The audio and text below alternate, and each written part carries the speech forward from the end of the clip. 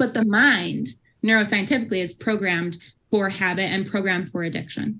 So those are potentially polar things, but they're also working together towards a space of wellness. It's just that addiction and habits perceive that their ability to help us be well is through reactive programming. You're listening to Entrepreneur Journeys, where I share insights and strategies based on owning and managing businesses while traveling and living on three continents. I also interview business owners about their journey, what they learned along the way, and how that can help you with your business growth. For more resources to accelerate your entrepreneur journey, head over to gapologist.com, where I share resources, events, community, and more. I'm your host, Joe Matz. Let's get started. Today, I have with us Paige Frisone, and she is a subconscious health practitioner. Welcome to the show, Paige. Thank you. Thank you so much for having me, Joe. It's going to be a great conversation. Always fun to connect with people with all backgrounds from all walks of life. So thanks for having me. Yeah, so I'm glad you mentioned all walks of life. I mean, this podcast is about the journey, the entrepreneur's journey. And speaking of journeys, where do you hail from today? So I'm here in the mountainous Boulder, Colorado. I've been here for close to 10 years and I'm originally from the Midwest, but I'm here for the sunshine and I just can't leave. oh, I love Boulder. I almost went to college out there. Oh, that's awesome. That's amazing. I went to um I finished my schooling at Naropa, which is in Boulder, but it's not the school everyone's familiar with in Boulder. So Right. Right. Still, you're in the beautiful place, uh, mountains, snow, beautiful summertime. That's great. Yeah. Yeah, it's it's just can't get better than sunny winters and snow that melts the next day and it's the environment that really holds so much of the healing work that you'll find out here. So i love everything about it. Sure sure. And so you went to school there. Did did you then get out of school and start your own business? I did. It took me, you know, I would say, so I was in and out of school for five years here in Colorado, but I started my schooling journey in Indiana, believe it or not. And I took myself out here, went to a Buddhist inspired university, had never meditated in my life. It was a completely different experience. But this school was so unique because you didn't really major in math or science. It was very right brain oriented. So you would see a lot of yogis or creatives or writers like myself. Uh, you'd see a lot of people training to be therapists in psychology. And I minored in psychology as well as a result of it. It was a really unique space. And then the last semester of my schooling there, I had delved into psychology really heavily. And I took this approaches to healing class that introduced me to Eastern medicine traditions and a lot of integrative health studies. And I had only been experiencing Western medicine for a long period of my life, separate from my own spiritual practices and stuff like that. But I didn't have a ton of knowledge about other modalities of the world in treatment and in healing until, you know, the latter couple years of my schooling experience. And it took me a lot of studies with a Zen priest, actually. My mentor was a clinical herbalist. I did botanical medicine studies with her. We would go to the mountains and make medicine of the wild flowers out here. And I just had one thing lead to another. I became a practitioner shortly after that and I started my business. Well, that is so great that you found early on that you were on the on the wrong path or, or that there was a better path for you. Yeah, some some people go decades before figuring that out.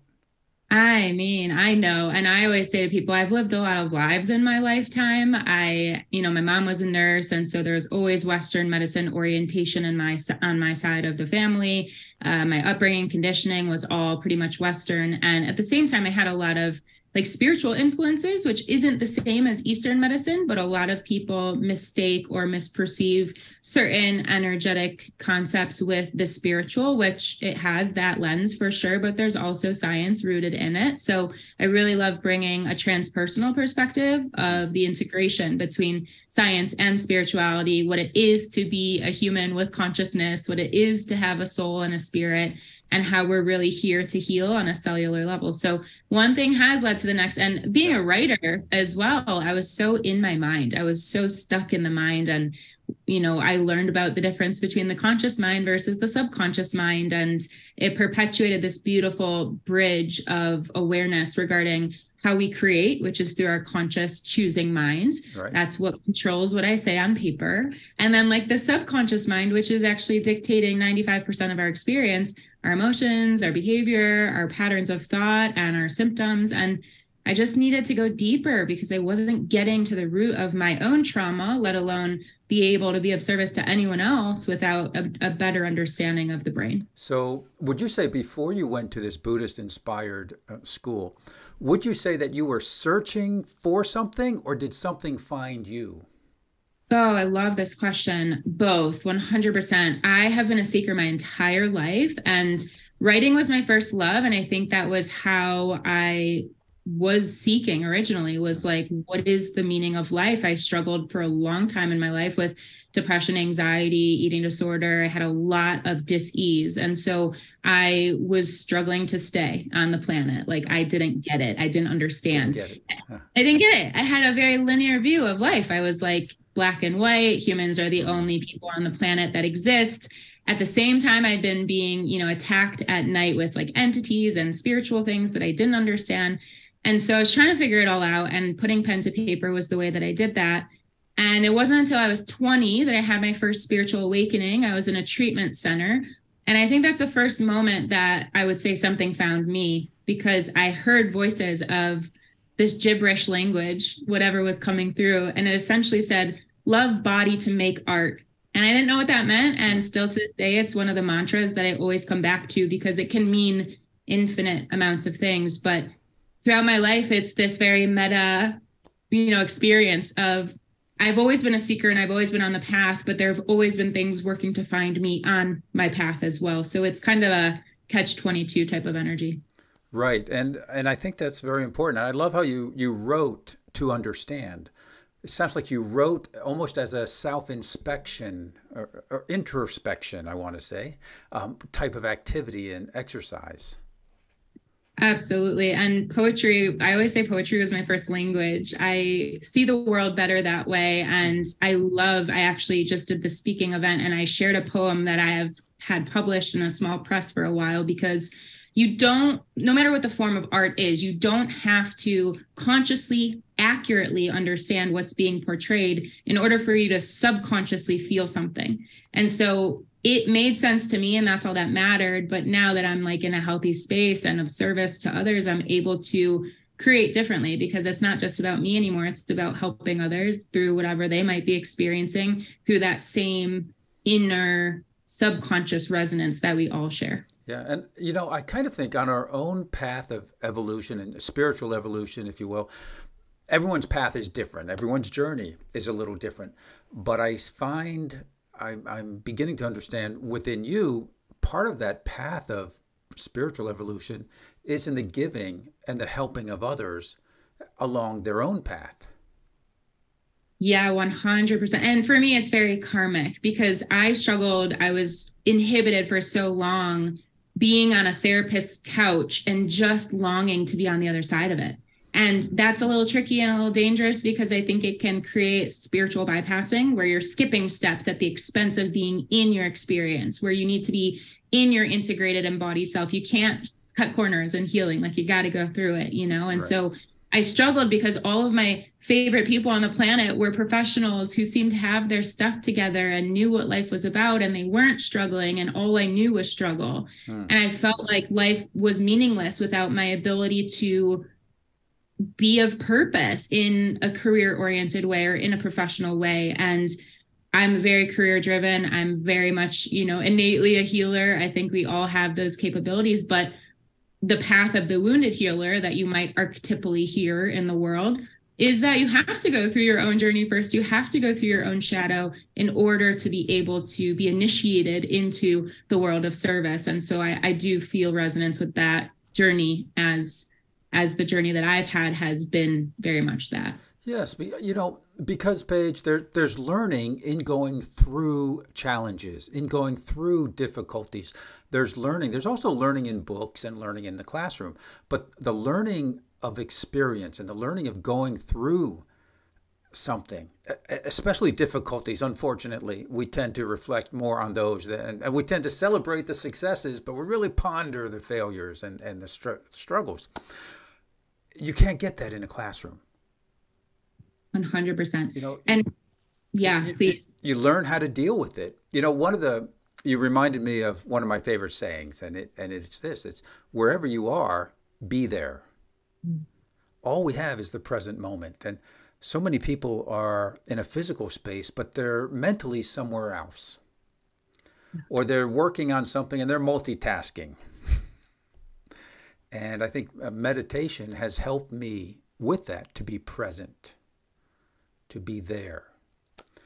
And um, I think that that is so important. You're going through an experience, and that experience is there for a reason. Absolutely. So, go ahead.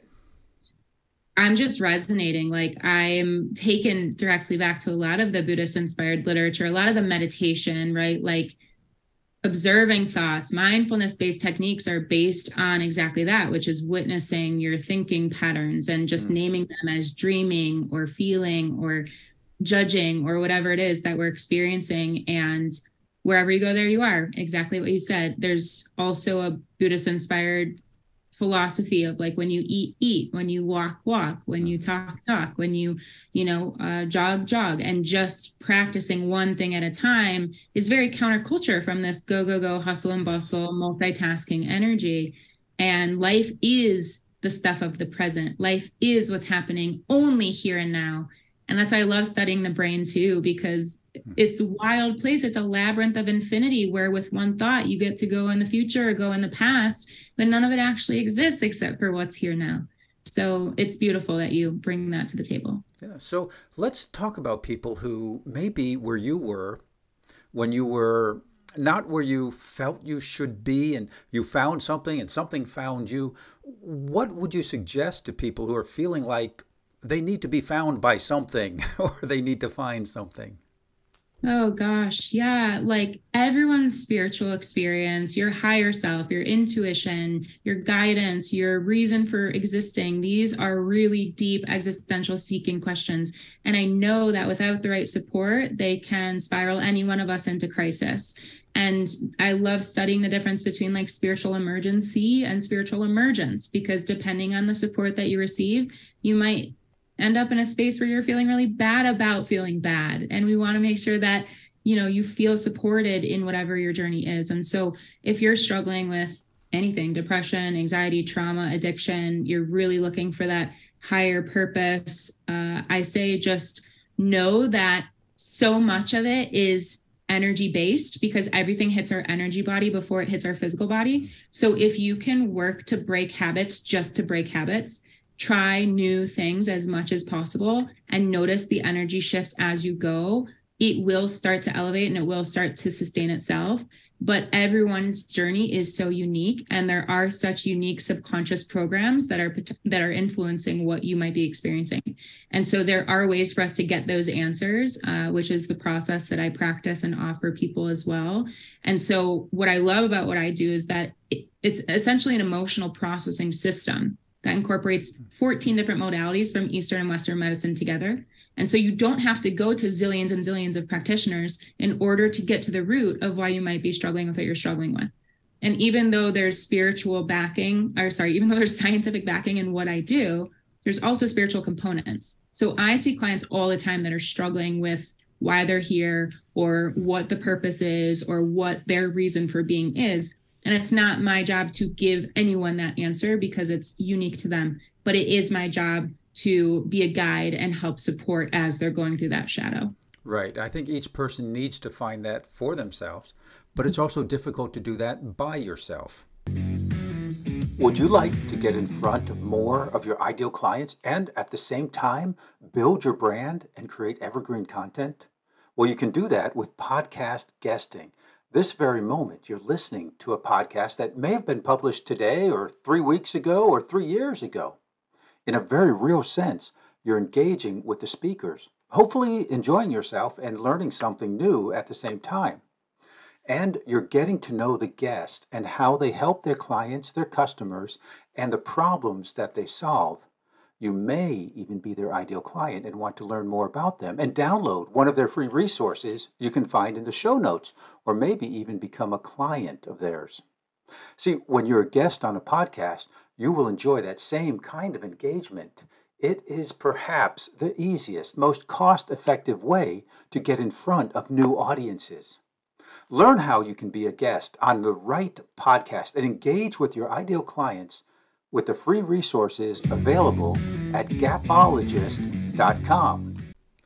But you did mention new experiences. So, would it help if someone who always takes the same road home from the office takes a different road or or going to a new restaurant or or a new I, I don't know buy a new flavor of ice cream i mean what what can we do I, what what can we do that's that's an easy step but might have some serious and, and important impact. Yes, yes to all of those suggestions. I love that so much. Um, I love suggesting to people go to your local library. Like if you have access to wisdom uh, go to a library. And I see library visits as psychic readings, no joke, because if you ask different sections what you might be looking for, what you might be needing, just being in the existence of a book without even reading it switches up energy because you're contracting that experience. So ideally, you would read the book, right? Whatever it is. But go to a local library. Yes, change up your routes and routines of how you get to work. Call someone that you don't usually talk to um, journal if you don't journal, or listen to ambient music and keep it in the background of whatever space you're working in, because that innately elevates what's going on neuronally in the brain. Go for a hike, go for a walk. Like all of these things we hear very topically in the world of self care. Hmm.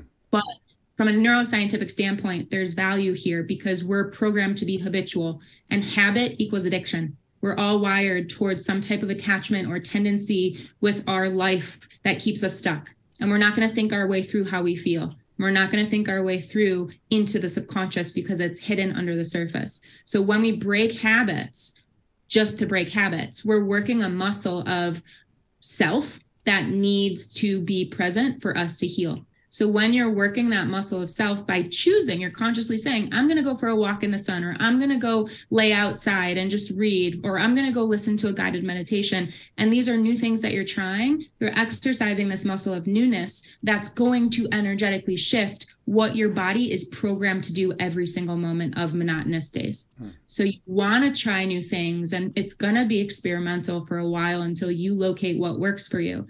And I go through phases too. Sometimes I'll be doing yoga and then I'm like, "Eh, I'm good." And sometimes I'll just, you know, do walking instead and then I'm like, "Eh, I need to switch it up." And I'll start jogging and we're all supposed to be switching it up all the time because we are designed to change, even though we're programmed to forget that we're designed to change. So we resist it, we struggle with it, and then we get stuck in the mind.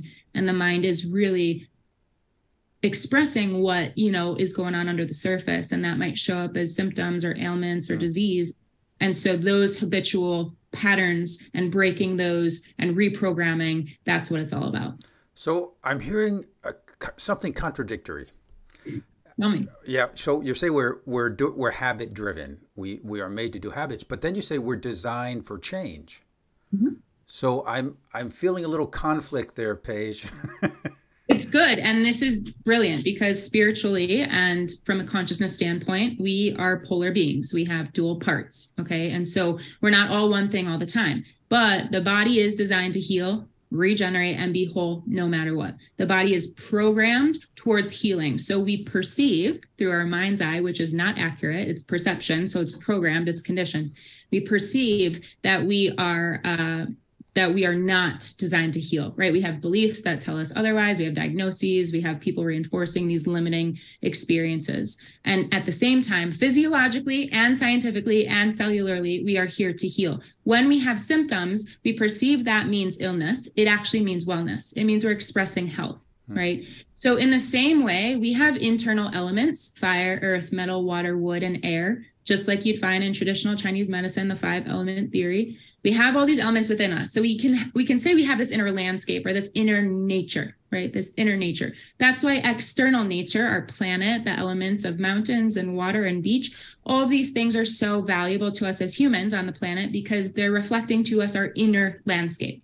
So that's where we go to heal. We go to nature to feel that spiritual connection. We go there to breathe in the oxygen that gives us life, just like the trees, right? So we have this ability, just like the planet, just like nature, to acclimate to change.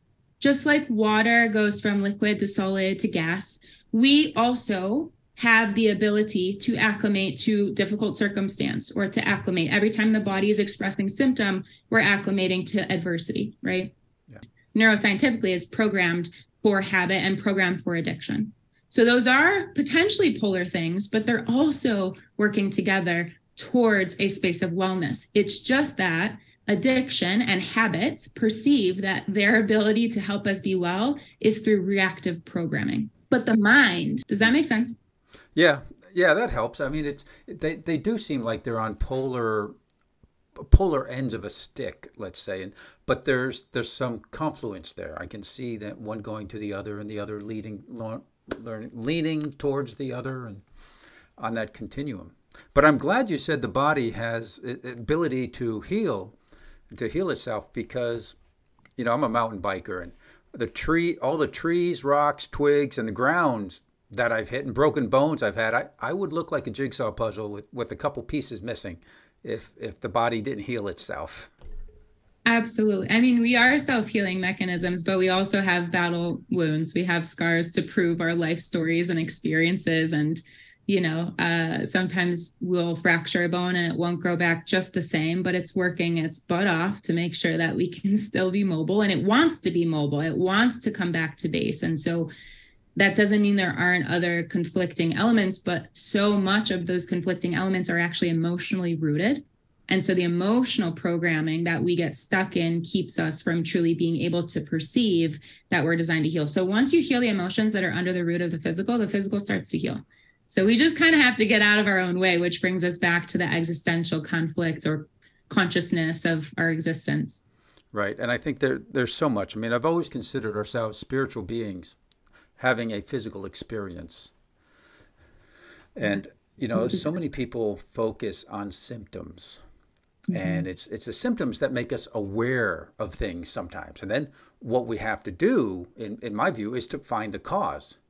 Because solving for the symptom, that can give you uh, endorphins, adrenaline. It can give you that good feeling. You've done something. You've solved. But if you don't get to the cause, it's it's going to come back again. And I, some people I, I've seen throughout my journeys, they've worked on symptoms numerous times until finally they realize, hey, this thing keeps coming up in my life. I better get to the cause. They don't say that, but that's their feeling. That's that's where they want to go because they don't want it to present itself anymore.